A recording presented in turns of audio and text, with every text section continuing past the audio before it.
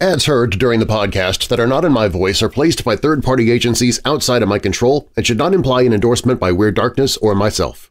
Stories and content in Weird Darkness can be disturbing for some listeners and is intended for mature audiences only. Parental discretion is strongly advised.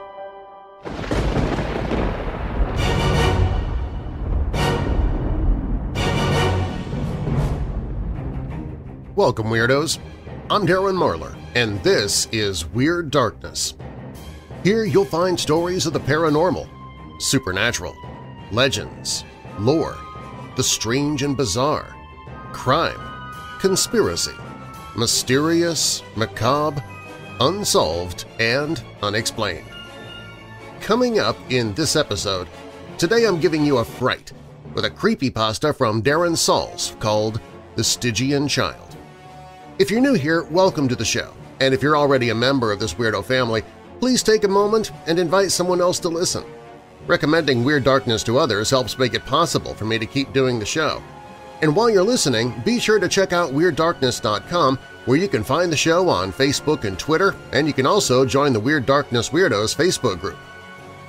Now, bolt your doors, lock your windows, turn off your lights, and come with me into the weird darkness.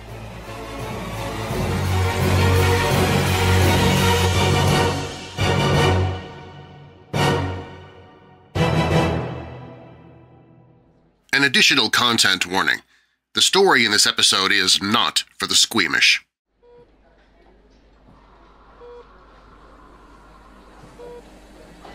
We're doing our best to keep your brother comfortable. However, at this point, I'm afraid it's all we can really do for him, said Dr. Norman, resident medical coordinator for the Ty Rothwell Compassion and Care Center. The infection is pretty persistent, but we think we have him on the right antibiotic. It's not grave, but his condition is serious. I'm going to be honest, it could go either way. Thank you, Doctor. I, I understand. I'll just go in and, and sit with him then, if that's okay? Peter Shiles spoke softly appropriate for the lateness of the hour and the fact he was in an ICU. The doctor gently patted him on the shoulder, motioning him to his brother's room. Peter entered quietly, wishing to not disrupt his brother's rest. Peter was anxious about seeing his brother in such a condition. He was relieved to find that his brother appeared to be sleeping comfortably and facing the other way. "'Hello, Peter?' came Victor's gruff voice, hoarse and dry-sounding. Hello, Vic. The girls say hello. I've, I'd have brought them, but, you know, school.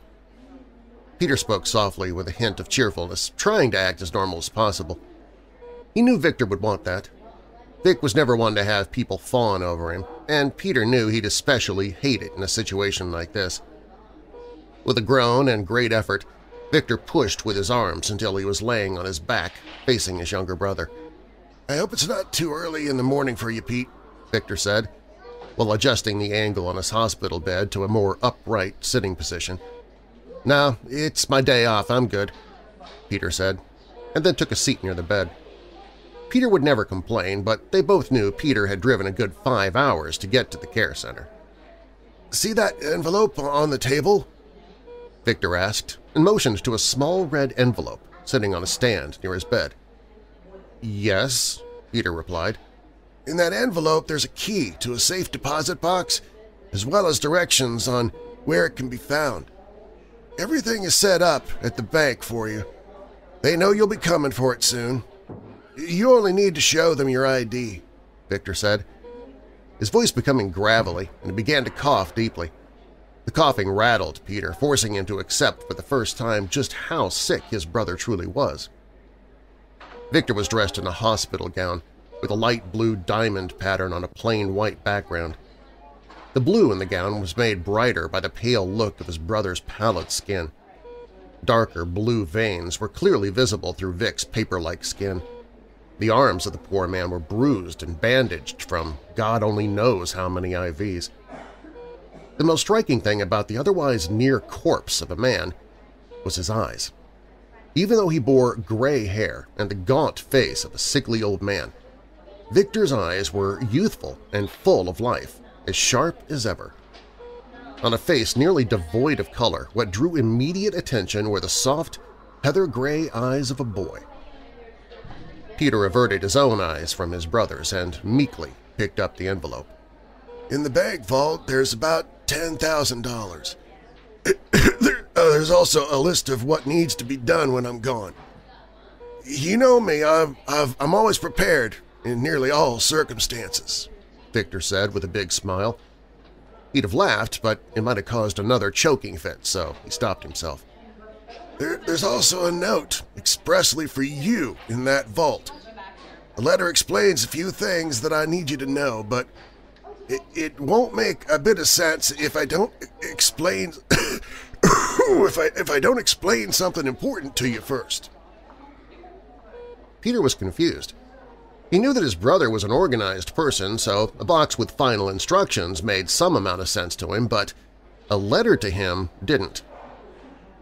Peter had never been close with Victor. Victor was more than 20 years older than Peter. Victor's mother died when he was very young.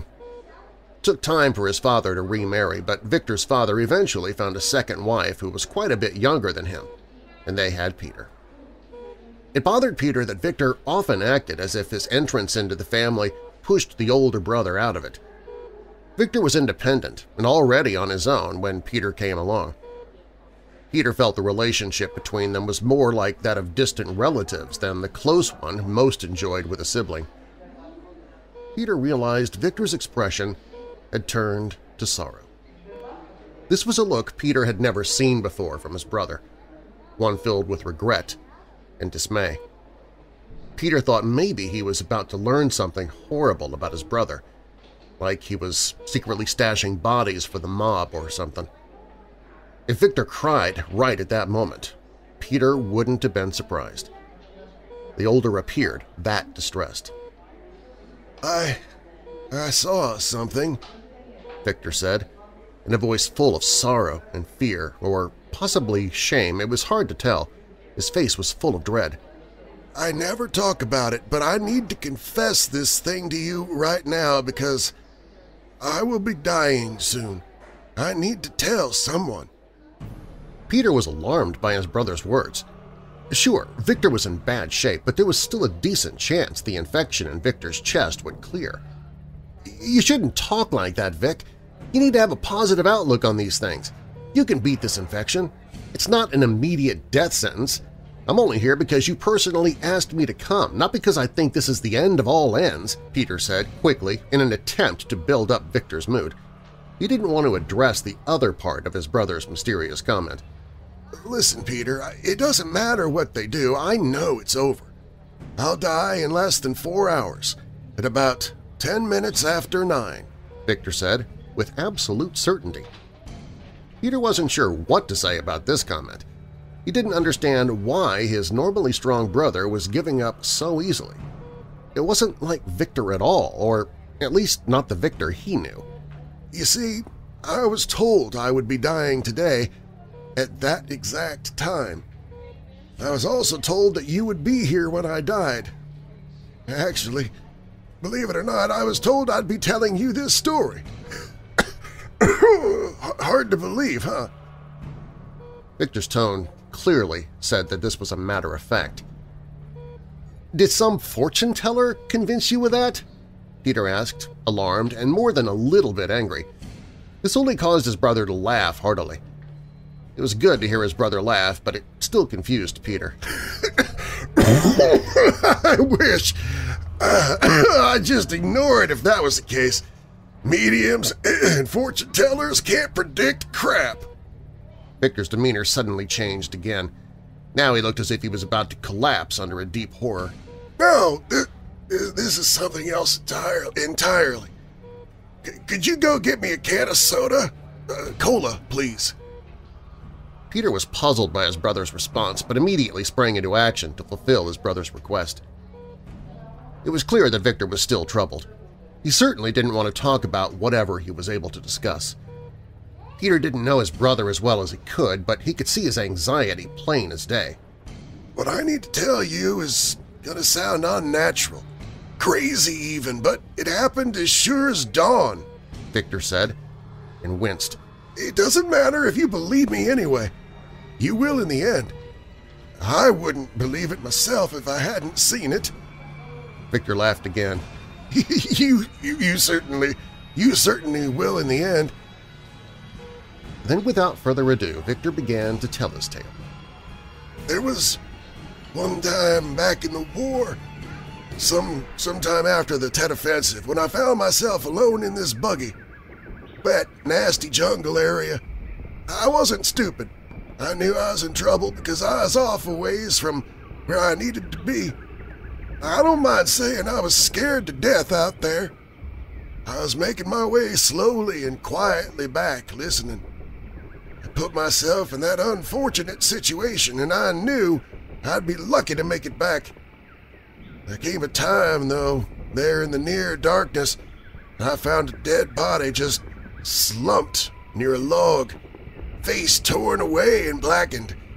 As an American like me, it made me feel tired and alone. There's a lot of death in that time. You had to keep your wits about you. The, the guy was half hidden behind the log. I knew enough to not get too curious. This situation was more than likely a booby trap, so I started checking the area, looking for tells. I have to admit I was far too focused on my studying of the situation to notice there was a figure only ten feet away from me. I never saw the approach. In the midst of a war, when everyone in a uniform is generally heavily armed, you should never do what this guy did. He let out a loud whistle to gain my attention, like, like you do to call in farm animals. The noise pierced the gentle sounds of the canopy. I didn't react as quickly as I should have. Of course, I jumped to the ground and did my best to take some sort of cover. If it had been an enemy combatant, I'd have died right then, right then and there. I did, however, recover my marbles enough to target the character. Again, for the second time in that many seconds, I was taken off my guard. I couldn't completely see the person there, but they were only about a meter high and unarmed, as far as I could see. I didn't want to shoot a kid, but this was a strange war. A strange war. I needed to play it close to the cuff. Victor finished that thought and took a sip of soda. In the dark of the seemingly quiet yet frightening jungle, in the middle of the maelstrom that is war, Victor found the devil. Do not worry yourself, Victor Shull, came a voice from the direction of the mysterious shadowed figure. The voice was unsettling to hear. The words were clearly of human origin, but were laced with inhumanity and impurity. The voice was so awful my senses begged me to open fire and kill whatever was there. The shadow person sounded like a prisoner of hell who'd escaped and now walked the earth. The voice frightened me more than anything else in the whole damn war put together. One thing was for sure, it was noticeably the voice of a child. The other clear thing was that he was ungodly and malignant. That dead one over there is not rigged to kill, came that wicked voice again. The figure's word was less than reassuring. I was I was more afraid of this new arrival than any enemy artillery that awaited me on the battlefield. Who are you with? That was about the only thing I could stammer out at the moment. A deep demonic laugh, much, much deeper than a child's laugh, rumbled loudly, resonating around in the gathered trees.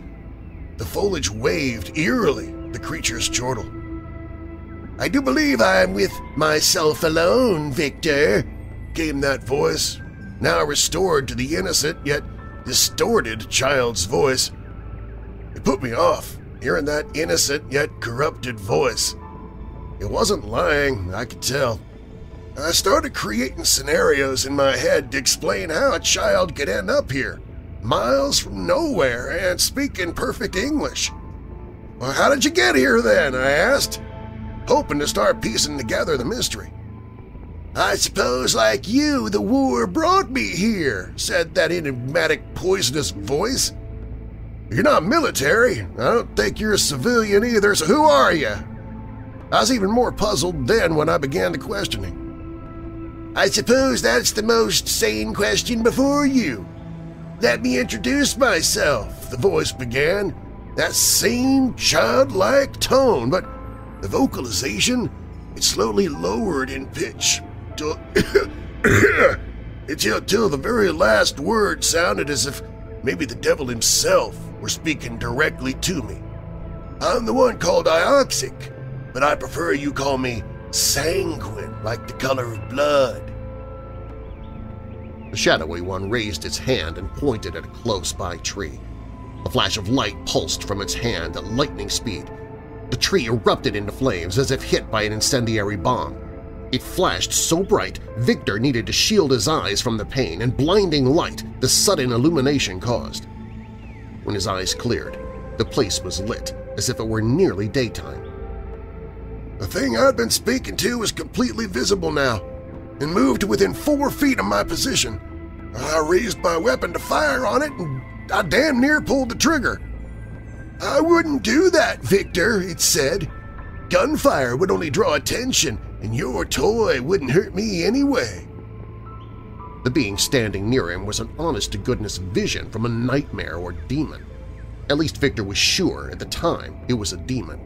It definitely appeared to be a child, but it was obviously in disguise. He wasn't sure what a church would call these things. The beast looked like it could be any ordinary little boy playing on the playground in a schoolyard. It wore a pair of green cotton shorts and a burnt orange t-shirt under a cotton vest that matched the green shorts. All its clothes were stained, coated with a mix of dried and fresh blood. The boy's arms and legs were unnaturally white, like the texture of wax figures. The hands were entirely supernatural. There were no hands or feet at the ends of the stumps that acted as legs and arms. Instead, there were black appendages that looked like roving, gnarly tree roots. They appeared ethereal as they moved, like charcoal-colored rivers that searched and tasted the air with the flickering tongue of a viper. The head of the creature was entirely a picture of the accursed. The face, the same pale color as the arms, was covered in various shades of crimson red. There was fresh gore on the animal as well. Where the eyes naturally should have been, a piece of cloth, possibly gauze, was wrapped. The piece of material covered the eye sockets, which appeared to be empty. Signs of severe trauma could be seen around them. The wounds on the eyes were fresh, but the dried blood on the clothes told a different story. The dressing, or whatever it was, was in dire need of changing. The bandage was beyond holding any more blood, so gobs of the red, vital fluid dripped out from under the wrappings like crimson tears. The thick head of neatly tended blonde hair stuck out. It was the one thing on the beast that didn't look like an aberration, yet that made it the most disturbing thing about it. I had my gun raised, prepared to take off its head, but then I realized it'd be futile against something so obviously ghostly. The truth is, it was right. Shooting would draw attention, and I didn't want that. I had no idea what to do at that point, so, well, then the thing did something that I didn't expect. It offered to, to save my life. What the hell would you do that for? I asked. The thing liked to talk, I, I could tell. You'd think that something that powerful wouldn't be so chatty, but it was more than happy to speak with me. He told me that I was about to be killed in a firefight the next morning. It could see these things, evidently. It said that I'd die and that there was nothing I could do to avoid it. Y you never know what you'll do in the face of certain things, you know, but when you see a mythical type of creature standing there in front of you and it tells you you're gonna die, it's, in, it's entirely believable. I was sure, even though it was a demon, uh, I was sure, even though it was a demon of some sort, that that, that part of its story was probably true. It took perverted joy seeing my reaction to this revelation. It offered to show me my death if I chose, but I, I refused. Give me some time to convince you it's in your best interest to let me help you, the beast said.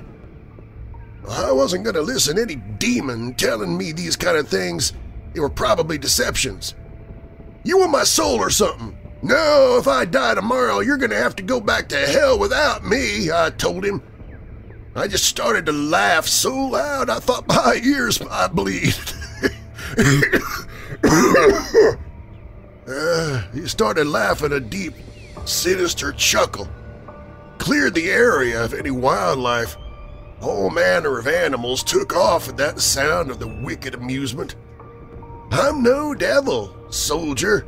What would I do with your soul anyway, he said. I don't want a bunch of human souls following me around forever wondering what they should do every second of the day. It'd bore me. He waved his hand at me, sort of mockingly. I have a different reason for talking with you, Victor. Well, I didn't like the sound of that. Whatever he was talking about, it sounded worse than the devil pining for my soul. What could possibly be worse than an eternity in constant torment? A morbid curiosity struck me. I, I, was oddly interested in what it had to say. If you're not if you're not a demon, then what are you exactly? I said, keeping my gun leveled at its head. Hmm, what am I? I'm the the being that all the demons in the world are based on. I'm the one that people see, but when they describe me, the story always changes. I'm the one who stalks your children, even though I never really have. I'm the vampire that drinks the blood, but that isn't all what I do. For those like you, I'm the one that steals your soul. But that too is only a story. It said all of this in the voice of a toddler, but, but tinted with, with a menacing, savage tone. It, it slowly glided towards me, and it slumped near the log. I met this one 27 years ago. It was a Friday. He agreed to meet me again, just like I hope you agree to meet with me again, he said. On a later date, of course. Well, I didn't like the sound of that either. The creature extended its feelers, and they stretched and wrapped around the dead soldier's body like a net. The root-like appendages brought the unfortunate man to a sitting position and pushed into the man's flesh slowly and steadily. What I really am, Victor, is a necromancer of sorts. This man is trapped in a limbo that I created. He's unable to pass on until we settle the agreement. I have his essence now. If you want to call it a soul, I won't argue. It's trapped here in this corpse. I can't steal his soul away, but I can hold him, keeping his body fresh, in a sense, the child said, tilting its head like it was listening to the dead body speak. I can smell this one's sphere, and I hear him slowly dying. Do you want to hear too, Victor? oh, God, no! I yelled with a complete aversion to what I was seeing. Oh, well, it amuses me enough, it said and let out an awful childlike giggle infused with demonic delight. I'll let this man's spirit or soul go after he pays up. It's part of the deal we made years ago. First, I get what I was promised. First, I get what I was promised in this bargain. The same bargain I'm offering you. That's, I said quickly, but was too awed to continue. I didn't know what to say. I felt as if I might hyperventilate. I was sickened by the things I was seeing and hearing. I thought it couldn't be real, but well, it was playing out right there in front of my eyes. I can make it so tomorrow doesn't happen the way it was meant to, he said. I can change one person's day tomorrow, and I have chosen you. I have that ability, I promise you. All you need to do is make this a simple agreement with me. He nodded his head toward the body. I just threw up my arms in dismay, unable to respond to the truly ghastly idea, still not entirely sure what the beast wanted. You only need agree to watch me feed and agree to let me feast on the day you pass, like I am about to do here and now, the beast said, twisting its head and opening its maw to look at me. This revealed twisted, misshapen yellow teeth that grew in various shapes and sizes through a wicked smile. The teeth came up and twisted around other teeth, sometimes into the jaw itself. One thing was certain, every single tooth came to a needle-sharp point, except for only a couple that were broken off. There was a mockery of a smile on its face. Even though this expression was offered like one would offer a smile, dripping saliva exposed it as nothing more than a hungry animal intent on eating. Let me eat the flesh you'll no longer need when you finally cross, and watch as I feed so I can enjoy your aversion and fear. I will, for my part, see to it that you live past tomorrow. That's the long and short of it. Well, I didn't like the idea of what was being offered, but I did not like the idea of dying in less than 24 hours all that much either. I was pondering what the creature said when it added its final pitch. You would die September 12th, 2023, about 10 minutes after 9 in the morning. You'll be resting in a nice clean hospital, and your younger brother Peter will be there at your side. You'll tell him this story. The abomination giggled again. He said he won't believe you at first, but he'll come to believe you in the end. I'll see a younger brother, I asked the demon child, astonished. It nodded its head feverishly. Dad had written to me, said that he was remarried, but I, honest, I honestly hadn't expected a brother out of the new marriage. I, would never even considered the idea of a baby brother. I'll look at the future for you, no cost, the demon said, and dropped to its knees.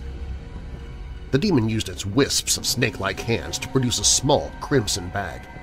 The bag was possibly white at one time, but now, so stained with blood, it was red. The demon hastily reached its hand in and pulled something out, tossing it onto the ground in front of him. The beast lowered its head directly over some little trinkets, studying. Oh yes, the demon said, I'm sorry to say you'll never see your brother the way things are now. I was never to, it was never to be, he said. That is, unless you agree to my deal. Really? You want me to believe you can just read my future? I hissed. Oh, yes, he said. I just read, just read your fate on the bones here on the ground.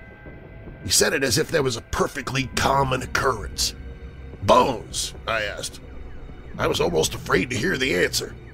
Ah, the bones of a mystical, powerful creature chopped into perfect symmetry and soaked in the most putrid of swamp rot. You have to add a poison like snake venom and hemlock with other herbs, then the head of a bluebird and a drop of your own blood. That's why only I can use them, the child said, lowering his voice so nobody could hear the last part about the bones only working for him. So, you made those things with some bones from a, a unicorn or something? I sneered at the idea. Unicorn, no! It was actually a rather large lizard, he said. They've been gone for a long time now, so the bones are precious to me. They are as accurate as the moon in the sky, it said, hissing at me, showing its twisted yellow teeth again. Scooped up the bits of whatever was on the ground I never got a chance to see what they looked like up close, but seeing this creature, I didn't doubt they were bones of some sort. The deal would involve you eating my flesh when I die. How come that has to be a part of the deal? I said, tossing the idea around in my head. The soldier back there has not passed on as of yet. I have the power to keep him here and keep him fresh so I may feed, the beast said. If you make the deal he did, like him, you will be eaten. Feeding time will be over soon for him, and by this time tomorrow there'll be nothing between us anymore. The demon child turned its head to look over at the soldier, still in the spectral web and seemingly dead. your fate would be no different than his. The eating is part of the allure for me. It is not a case of simply filling my hunger. It is a case of watching you suffer too. You watching, knowing what it will look like when I eat your flesh and organs. That is the hunger you need to satiate in me. I have to say, it honestly drives me. You, you'd pass in the morning, as I told you. By that night, I'll have no more use for you or your soul, or whatever you call it. How can you tell the future like this? I asked him. I, I was horrified and fascinated at the same time. That is for me to know. Ask yourself, human, have you ever heard or seen the likes of me? Has anyone told you stories of Ioxic, the Stygian child, or any of my kind? The oddity said angrily, as it took to a height almost matching mine. No, uh, I guess you're right, I said. If I accept you're real and here, I have to accept that other things I don't know are possible. I started cowering from the thing. I was sure the thing was going to kill me on a whim if he chose to, but, well, it didn't seem to have that as a motivation. Then why, why don't you feed on these other dead here? I mean, this is a battlefield. There must be plenty others you could find. Why choose specific people where there are always dead people? I said. I'm try trying to reason it out, you know. Ah, good question, he said. I suppose it has to do with choice. My kind needs to have a bargain struck to really satisfy our darker cravings. The feeding is less about the act and more about the deal one strikes. You get a chance to live a life you might never have had, and I get your body to feast on. Nothing's ever free, he said in a scheming voice.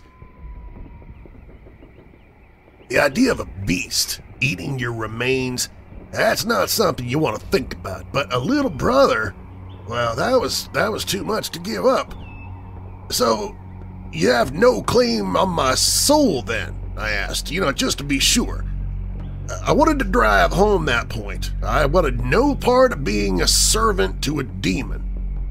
That's something I have no need for, really, said the child as, it as it gave one of its sickening giggles again. Really? What is it with your souls? I don't want your life energy or anything. There are still rules set forth from the beginning. If I don't make a clear and concise deal for your soul, I can't claim it. The creature released the soldier from its grasp and shrugged as it spoke, as if it really had no idea what got into people's heads. I will live to the day you said, and you'll eat my flesh when I die, I said, you know, just confirming the particulars. Indeed, the creature nodded earnestly. Uh, that, that seems too too good to be true. There, there's got to be something more sinister to it, I said. Indeed there is. I did say you must watch me feed, the child said, holding its root-like appendage toward the soldier on the ground. You'll be forced to watch as I eat human flesh, and you will know that one day it will be you that I will come to feed on. The Stygian child dropped its chin a bit as a wide, wicked smile crossed its face. This was the evilest smile he could ever have imagined. The smile would forever stain Victor's nightmares. I knew now why the demon made these deals. It thrived on a person's fear. It must enjoy the pure pervasion that one feels when they meet an actual ghoul and witness it feed. It was a horrible choice that it was offering me. I knew that watching this animal feed was going to be far worse than anything I'd seen in all my days, and I may have to live with the idea of facing that desecration myself. I, I think I can live with that then. If I live to see a brother I never knew I had, I think I can live with that, I said, afraid of what I'd just agreed to. Now I just hoped to get back and meet my brother, you. I think I had you pegged wrong, said the beast. I'd normally have to drone on for hours to get people on board with the idea, but you jumped right in. Thank you. The beast finished with a truly abominable smile. It was silly but terrifying. As stated in the bargain, your soul, or whatever you call it, it's all yours. I I'm only interested in prying away your flesh, it said. And as agreed, having you as witness to my feeding habits. I, I felt a, a, a better, a little bit better, you know, hearing the beast plan to stick to the agreed agreed upon terms. I knew I'd be a witness to a ghastly act, but it'd be over soon enough. He told me, you know, a lot of the tales and folklore around this world stem from the likes of me. But my kinds of stories are never told properly. They always get the basics wrong. He then drifted to the other side of the dead soldier, kneeling next to the corpse. Stygian child lifted its awkward hands to its face and carefully slipped off the eye bandages. It appeared as if the bandages, as with any wound, were painful to the demon. The view underneath the bandages was about what Victor expected. There were two completely empty eye sockets, which were vacant but glistening with fresh, wet blood, all the way back into the dark depths of the skull holes. It looked like a pickaxe or other tool was used to pry out the eyes of what could only be described as a sickly child. The figure was a paradox. It was clearly moving and bleeding all over everything. The creature was also speaking, but with no eyes it looked like a dead, empty human child with ugly dead vines growing from its hands. It was kneeling there, preparing to feed, possibly to fill its emptiness. A soft hum started to emanate from the creature, and blood soon began to rush even more from the child's eye sockets. Small, green and blue pods of various shapes were being coughed up through the eye holes with the flood of blood. Tiny, undulating creatures also wiggled their way out of the Stygian child's eye sockets and fell to the ground around the dead soldier. It was something Victor had not been prepared for, and it instantly made him vomit. This drew a mocking, devilish giggle from the one called Ioxic. The socket creatures slithered and wriggled away. Many of the pod-like things burst open in audible pops like firecrackers. Creatures from inside them flew into the shadows. As fast as they'd come from the beast's empty eyes, they all went into hiding. The atrocity looked at Victor and said in a sadistically amused voice, "'Are you ready for this, Victor?'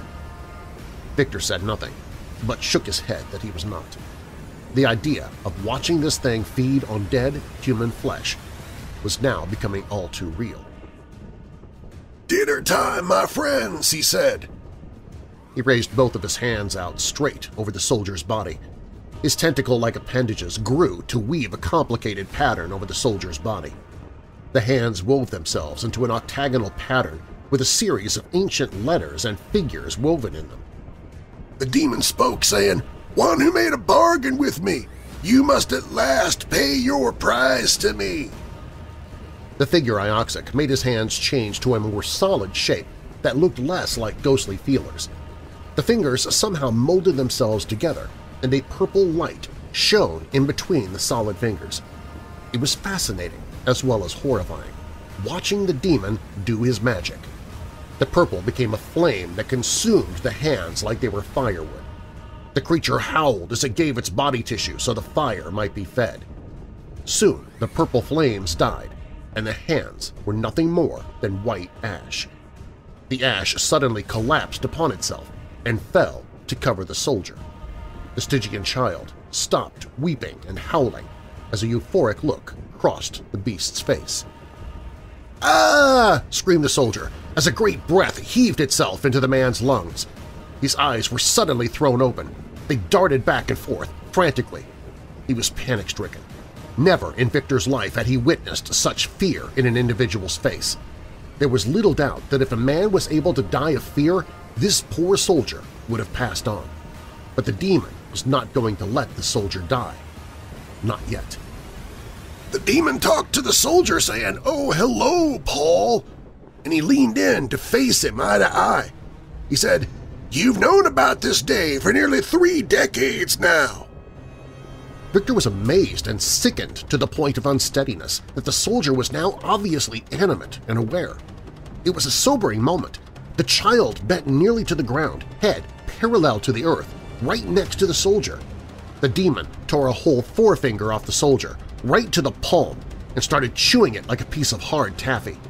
The soldier exploded with a piercing scream that echoed in the quiet night. "'Oh my God! You just ripped his finger off!' I yelled, and I drew my gun level with the beast's head. Yes, that's what you do when you feed on something. You don't just swallow a chicken whole, do you? It asked me this while wiping a dollop of the soldier's blood from his cheek. I like the finger bones, he said. I like how they have just enough flavor to get my appetite going. The creature smiled at me. I could see bits of fractured and torn bone stuck between his teeth. The bones ground in its teeth with bits of knuckle and flesh. I nearly vomited again, but I held myself. Through the nausea, though the nausea was strong, my knees buckled with a bout of dizziness. The beast might have been less disturbing if it didn't have the appearance of, of a child. If I was, if, if it was an ogre or something, some other mystical boogeyman doing it, it, it might have been easier to stomach. Maybe. He's still alive! You're supposed to wait until he's dead! Those were the rules! I yelled at him. I told you from the beginning, I kept his spirit here. Didn't you hear me say I was a necromancer of sorts? I told you all of this, he told me. You need to pay more attention when I speak. He rammed another one of his soldier's fingers in his mouth, ripping it off with his jagged teeth. Soldier reacted violently against that severe trauma. You said you let his soul go. You lied to me, I told him, angry at being duped. Oh yes, I'll let him die and be on his way when I'm done feeding, the beast said. Then it finished crushing and grinding the bone and flesh on the second finger, finally swallowing. That wasn't the deal, I bellowed at him. Yes, it was, Ioxic spat back angrily at me. That is, if I if it had been capable of glaring with those hollow eye sockets. His mouth slowly went from that determined sneer to that evil smile of his. It was always part of the bargain. You were too eager for your desire to realize the price. He's alive, though. I couldn't even form a sentence at that point. My God! The weeping and the, sh the shivering soldier. it was enough to silence me. All words left me at that moment. Yes, Victor, and one day you will still be alive as I feed on you, spoke the demon, before he burst into an insane, disturbing trail of childish laughter. The awareness rapidly sunk in that I had agreed to a nightmare far worse than his death.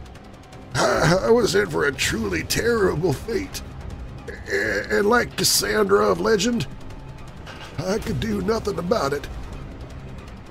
I was pulled back to the moment by a gut-wrenching scream from the poor man being fed upon. I turned my attention back to reality and I looked over to see the creature had taken one of the soldier's ears this time. It was using its newly formed root-like hands to tear the cartilage into pieces with the help of its teeth. It was then I used my rifle. I shot the child in the head. I could no longer stand for this abomination before me. However, as I'd half expected, the bullet did nothing, not even causing the creature to flinch. More or less passed through the beast. The skin was pierced and a simple hole appeared like a puncture in the sand. Small wound quickly folded in on itself and was gone. Skin like an hourglass just refilled the hole left by the bullet. I told you so! The wicked thing chuckled at me. Didn't even bother its, to take its teeth out of the sobbing soldier's ear. The goal was completely dismissive of the bullet to the head. It was indifferent that I just tried to kill it. He slowly bent down to face the soldier, meeting the poor soul's fearful eyes with its two dead empty sockets. Uh, the soldier was quivering noticeably and desperately trying to pull out of the way. Unfortunately, unable to do little more than, than thrash about a bit. The creature lunged, sinking its mismatched teeth into the man's nose.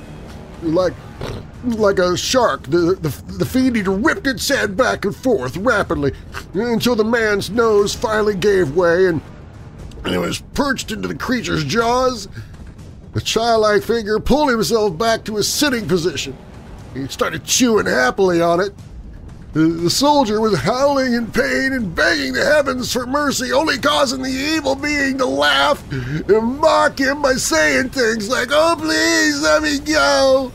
I'll never do it again. Mommy, help me. The witty little man's hurting me. He was taking great joy in the man's suffering and bleeding. I never dropped the barrel of the gun with a shot, but I'd put I, I never dropped the barrel of his gun for the shot that I'd put in the demon's head, but I decided at least to cheat the demon to some victory. A flash came out of my barrel my gun, and a weeping soldier's face was blown clean in half. I, I had to spare the man for the sake of all that, all that was held holy. Suffering for that poor man at least was over. You shouldn't have done that, Victor. Cheaters never prosper, you know. You only made the situation worse for our glum friend here, he said. He said it really calmly, too, like he wasn't angry at all. Uh, his demeanor, uh, it frightened me even more. I started to ponder what kind of punishment he would give me for, for my actions. What, you, you gonna eat me alive then, huh? Uh, we have a bargain. I know what's going to happen to me and when. In the deal, you set the date. It is not today, I said. I lowered my gun. I knew I couldn't use it on the demon anyway. No, Victor. Worse for him, said the demon. And a deep, dark laughter rumbled the area, not childlike whatsoever.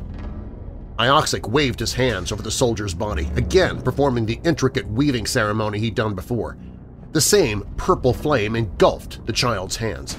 Immediately another veil of ash powdered the fallen soldier's body, this time with far more dramatic effects.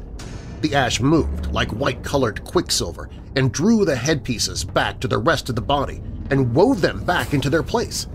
The bones crackled and splintered loudly as they took their proper places once again. His chest rose with another great breath and the soldier was back to the living, with his face and head restored as if a shot had not just blasted it away. Poor Paul! You aren't going to leave us quite yet. Nope, he said. and He lifted the soldier's hand so I could get a good look at it. To my horror, the hand was completely restored the fingers that had not been eaten away were, were, were completely reconstituted, eh, ready to be eaten a second time. the demon proceeded to engulf the same index finger in its jaws and tore it away, viciously. The soldier again, struck with a massive jolt of pain, screamed out, face flushed in shock. It immediately made me sick again. I went to throw up only to dry heave. I was forced to listen as that demon cracked bone and sinew in its ugly yellow teeth, making especially sure to chew with a wide-open mouth, contents spilling open under, the onto its shirt and ground. This soldier probably knows that you were trying to spare him the extra pain, he said. What good did it do him, though, huh? Kill him as many times as you like. I don't mind starting over again and again. More and more for me to swallow. I finally, I finally let my rifle fall to the ground. It wasn't of any use. I was disgusted. I I started to leave them in the area, but I needed to leave. I knew I knew I'd forever hear that man's pain and the grinding of his bones in the in the creature's mouth. I'd seen too much. I I got about three feet when Ioxic spun me back around, so I, I nearly fell to the ground. How dare you leave me now? he bellowed, sending blood and, and bits of body tissue flying out of his mouth onto my onto my my face and uniform. It was amazing how fast he, he reached me. He moved at least eight yards in, in like a second. I didn't hear a thing. I was looking at that demon face. I couldn't see any eyes, but he, he was angry. If you think this man's suffering was overbearing because of a mistake you made, it was not, he said. It was this man's choice, as your choice was yours. If you think eating flesh is so horrible, imagine what your punishment will be for disobeying an agreement with me. The creature proceeded to lift me off the ground and he carried me back to that suffering soldier, dropping me on top of him. I moved as fast as I could to get off of the poor guy. He grunted as I finally found my way off of him, and I, I took a position sitting next to him. I'm sorry I shot you, Paul. I, I was trying to save you from this. I, I didn't know about this. He was he, he was he was too afraid, uh, too much in pain. He didn't know I was there. I I knew my apology. It wasn't going to bring him any comfort. In the end, I, I, I suppose that apology was more for, for me than for him. That imp settled back on the ground next to the soldier, positioned itself on its knees and resting its hands like his hand-like things on his chest.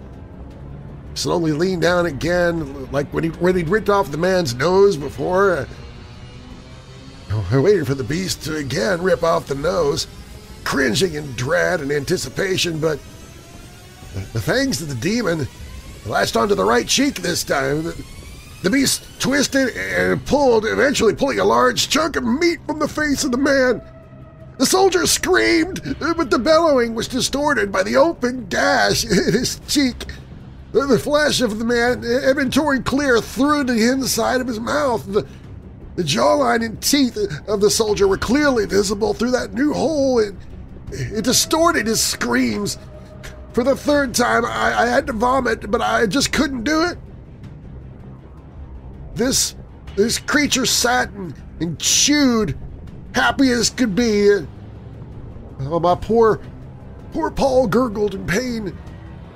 I noticed one of the unnatural creatures that clawed itself out of that, that child's eyes was, was creeping in from, from one of the shadows, moving towards the soldier's head. I watched as it slid its way to the opening on the side of that soldier's face. That nearly foot-long worm creature looked like, like a giant leech. Oh, no, leech. It's a thing of beauty. This, this one is almost as frightening and ugly as the demon child. It was blood red and slimy with, with, bright orange and black markings and spirals around its undulating body. There, there was no head. You could see the mouth clear enough. The mouth had rows and rows of long, needle-sharp teeth, looking like a child's toy wind wind spinner. You know, the teeth moved in that sucking, pulling pattern. Anything that encountered these teeth, I was going to go through that parasite's digestive system.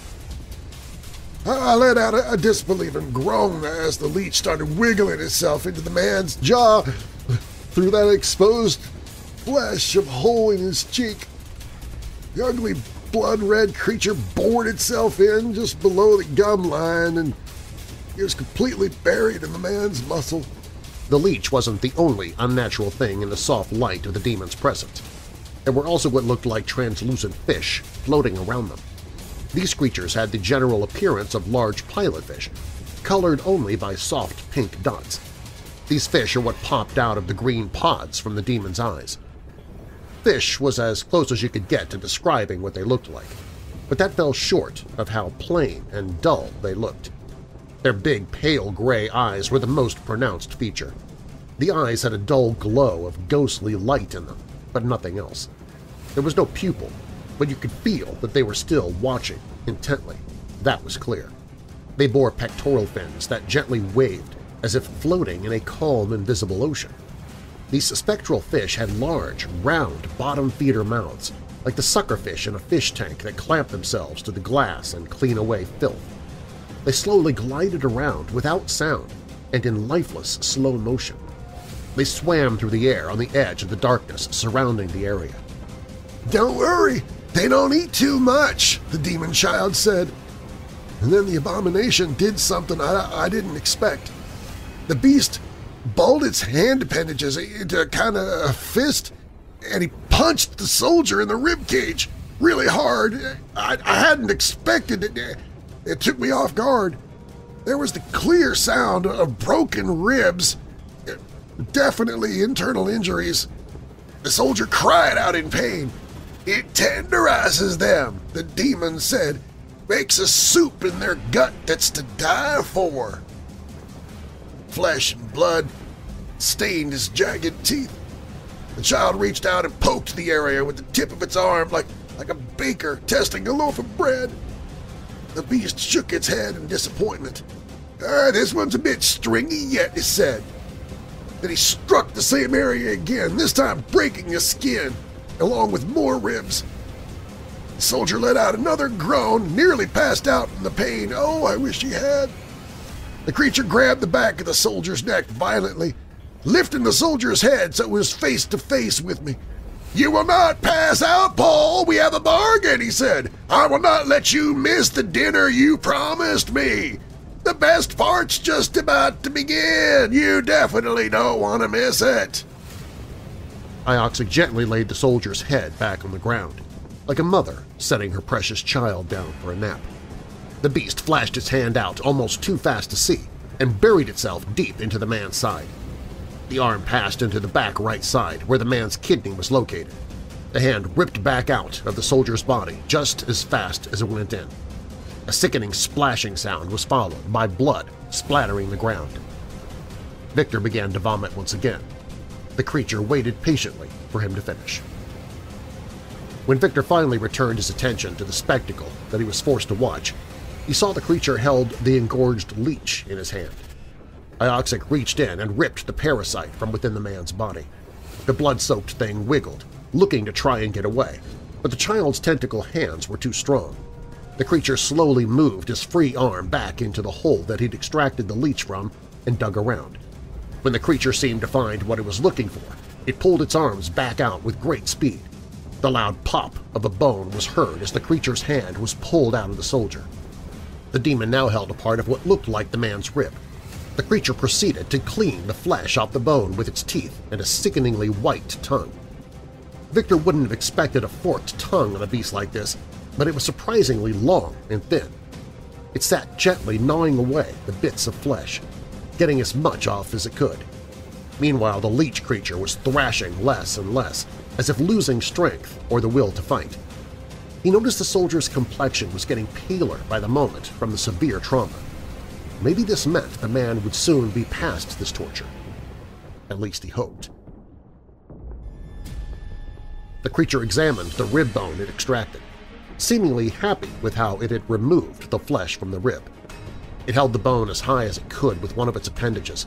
The creature then used its root-like features to move on top of the soldier and pin him to the ground, positioning itself directly on the man's chest. It took the bone it was holding over its head, and forcefully jammed it into the man's right eye. The soldier let out the greatest cry of pain yet in response. The child had used a particularly sharp part of the bone to break the eyeball. After stabbing it again and again, there was a gooey pool inside the man's eye socket.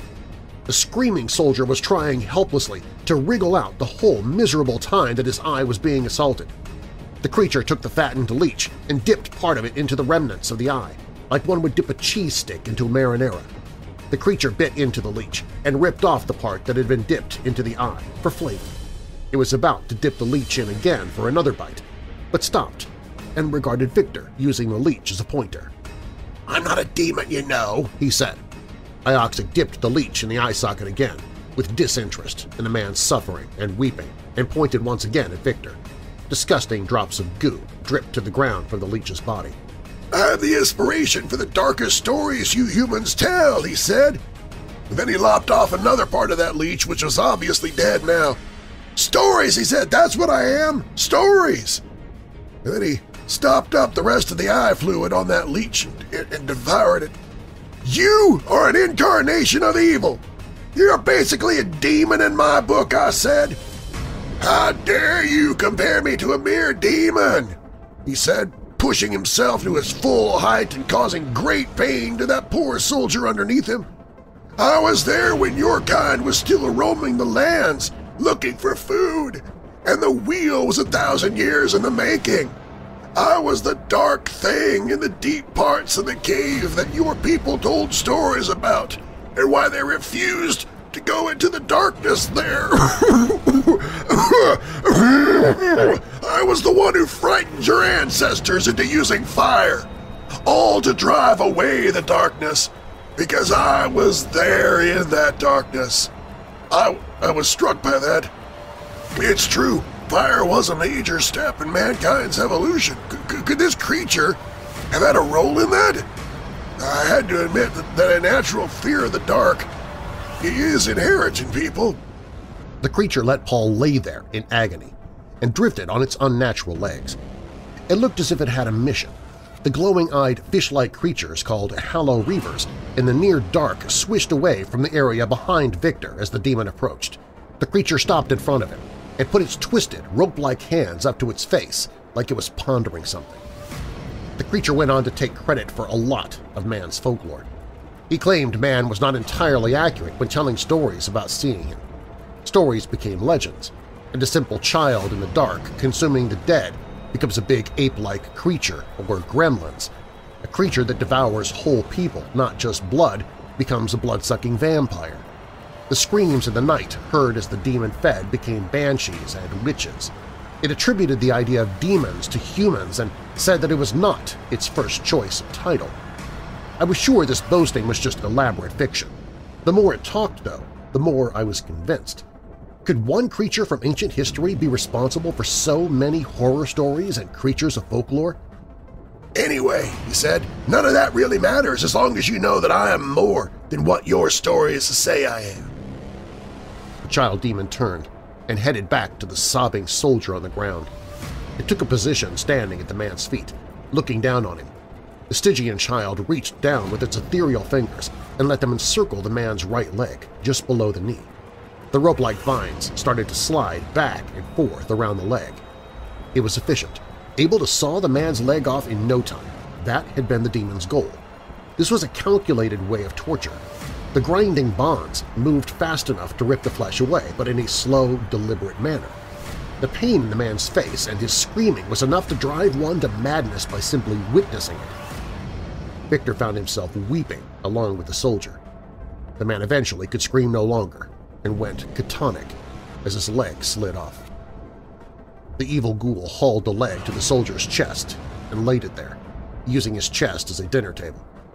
The beast took out a knife and started to carve pieces of flesh from the bone and feast on them.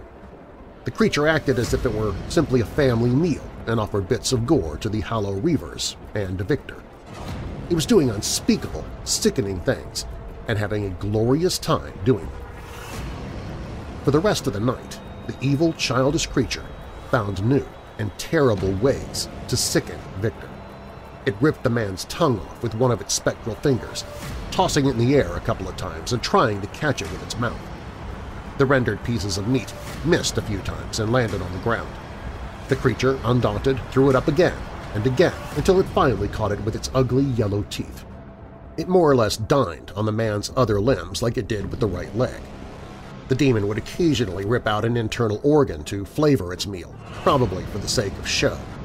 It'd say something like, this needs a little kidney, and then tear open the man to produce the organ. After hours of pure depravity, the end would finally come for poor Paul. The end seemed to take forever to come. Watching the poor man's dismemberment was pure torture. You could see the anguish in his face as every move the demon made struck him with searing pain. Harsh breaths came fast and sharp as he attempted to suffer unbearable grief. Well, everyone, he said after finishing off the man's second kidney, you don't know it, but I have to be going. The creature stretched greatly and let out a loud, screeching howl. Victor noticed Paul was still alive, quivering on the ground. His chest was slowly rising and falling. The creature did a drawn-out stretch this way and that, then walked around the clearing as if working off the meal. Then it walked to the soldier, stopping at his head. The man couldn't possibly know it was there. Both eyes were gone at this point. The ears were gone, long ago too, maybe for hours. The creature reached once again with those ugly, black, root-like fingers. They bored deeply into the man's throat, unimpeded by muscle, tendons, or cartilage. Got to be careful here, he said. I don't want to accidentally cut the jugular. Wouldn't want to kill it just yet. Oh, he found that really funny and laughed. As soon as the monster hit that spot that he wanted, he ripped his hands out of the man's throat, fast.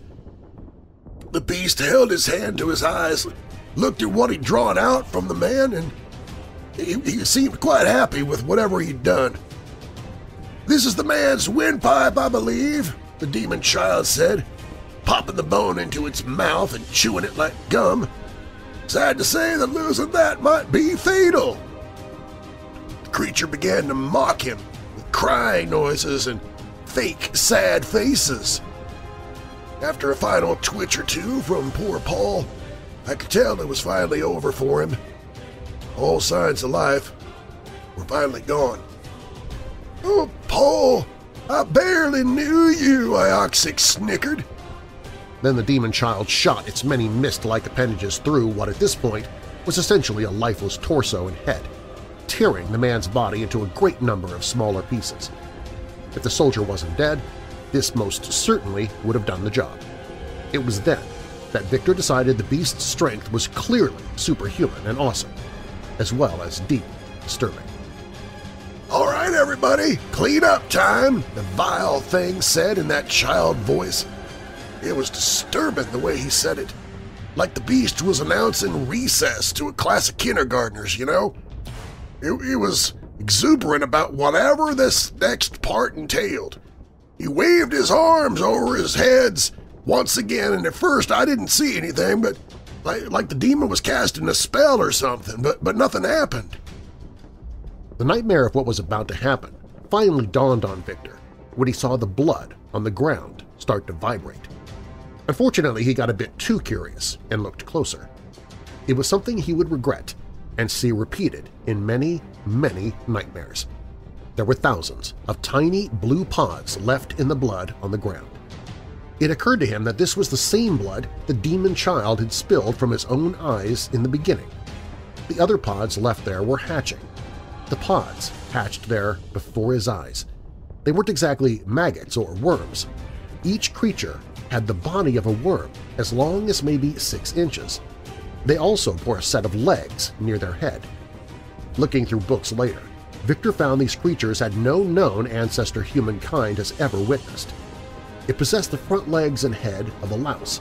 The mouth of the creature was designed quite differently, though. Instead of a device meant to suck blood, each tiny mouth bore teeth and was meant to eat and rip flesh. The mouth had a piranha's small, razor-sharp teeth. The creatures were white, like they'd evolved in a deep, dark cave that never saw light. They were a sickening new species, and they had no problem moving themselves to the chunks of the dead man. Don't worry, said the demon child as it stabbed a kind of finger spear through one of those insects and popped it into his mouth. These buggers won't leave a single drop of this guy for anybody to find, not even a hair. And that demon child was right. Within half an hour, the fat lice had finished everything. Not even a blood stain was left. The demon child was done too. He devoured the last of the now pinkish lice into his mouth and rubbed his stomach. That hit the spot, said the creature. I was numb by this point. I'd seen so many crimes against nature.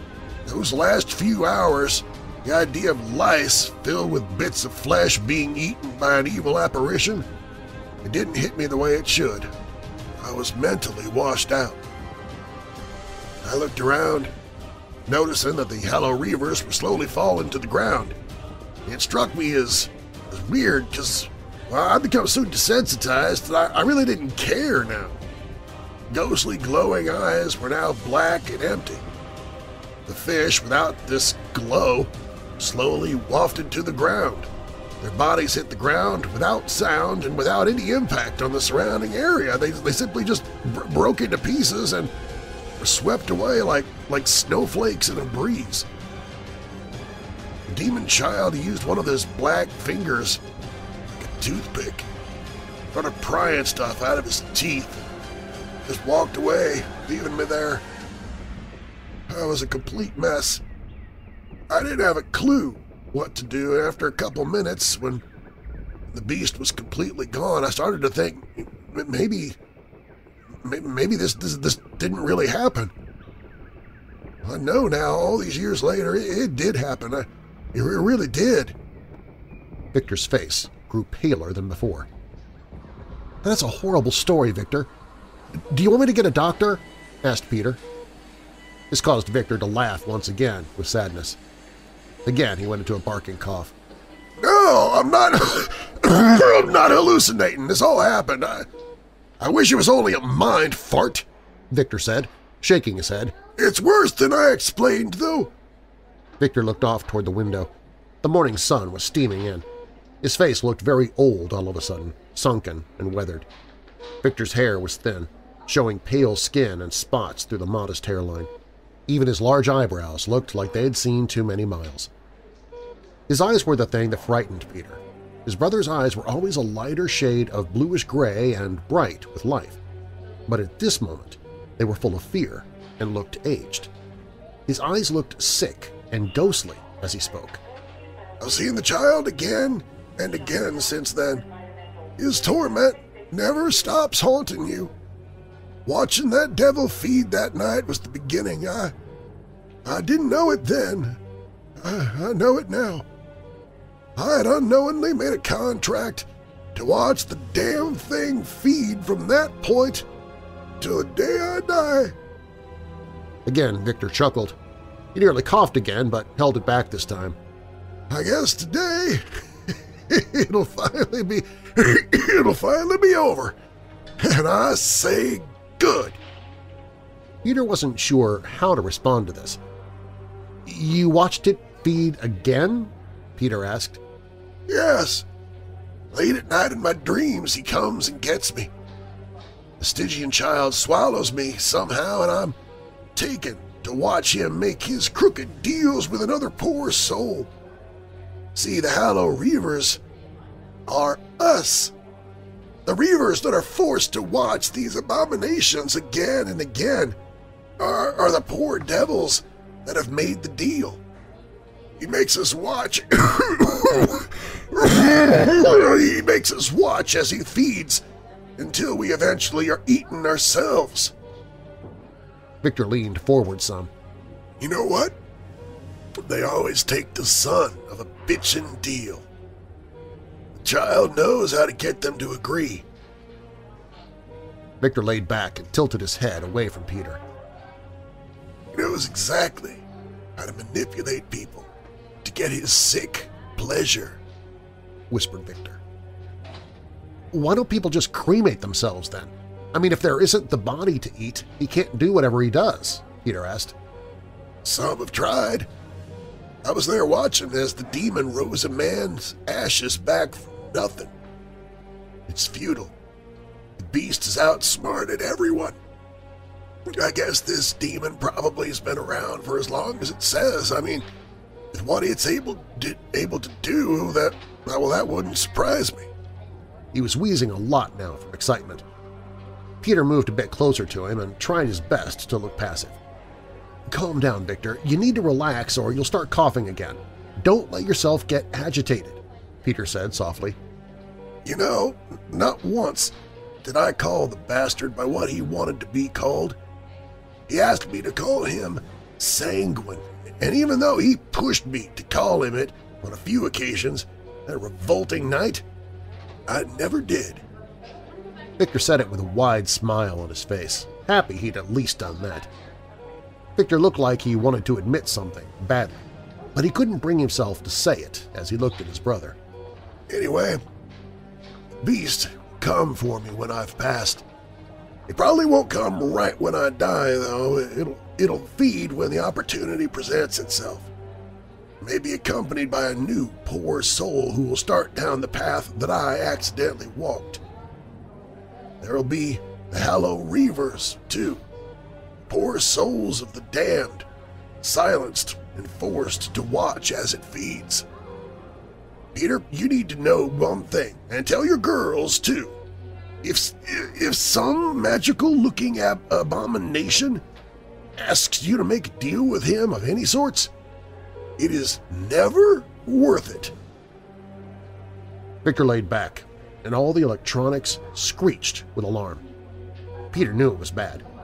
He stepped back when people rushed into the room. It wasn't long until Dr. Norman said quietly to Peter, Sorry, he's gone.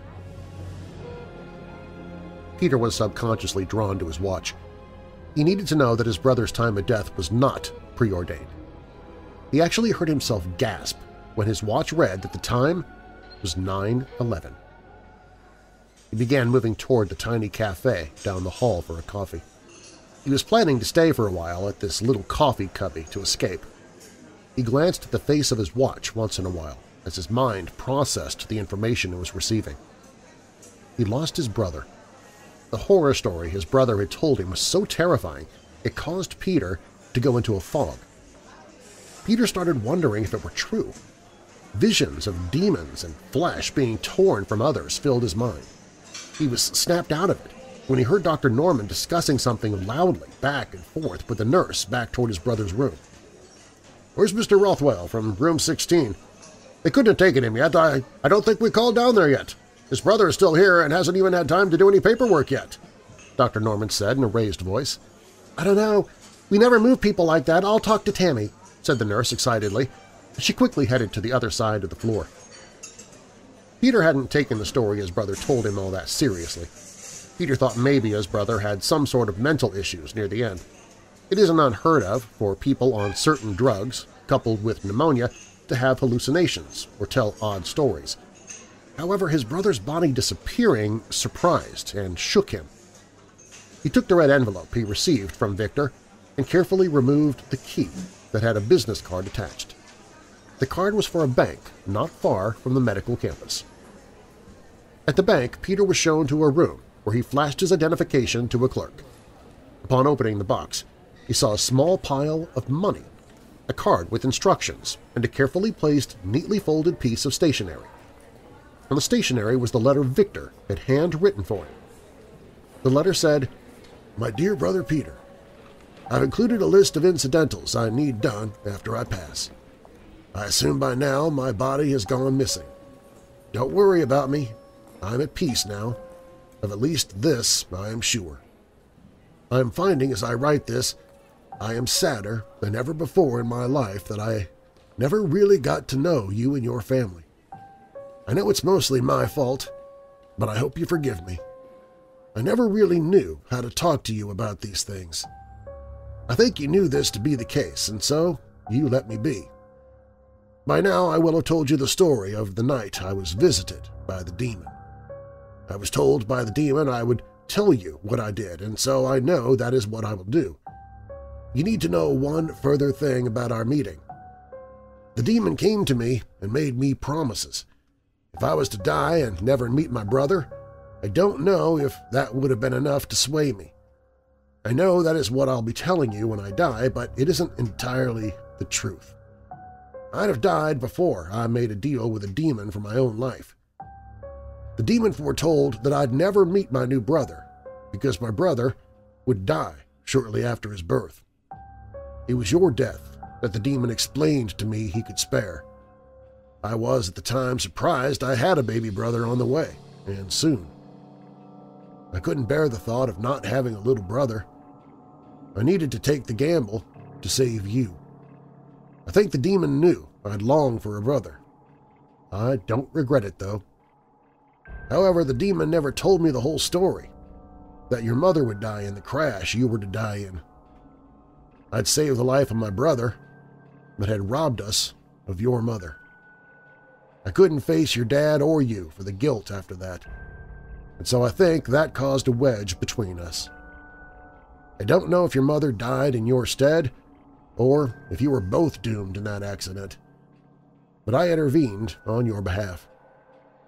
The death of your mother, the listlessness in our father, and the terrible knowledge of my inevitable fate with the demon caused me to fear you, I think. You might think I was mad at you because of the way things worked out, but it wasn't you. I was angry with myself. Bad things happened, and I spent a lot of time just coping. I should have been a better brother. Sorry. Victor.